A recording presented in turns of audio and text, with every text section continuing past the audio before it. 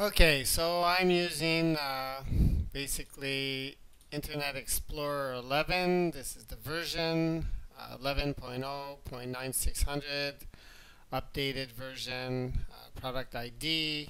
It's always current. Um, I've logged into my account. Um, I've put in um, this two risers for $139. That's 278. So I select my state of uh, Ontario and K4R1B7. I select residential and I get my shipping options. And I select um, CP expedited.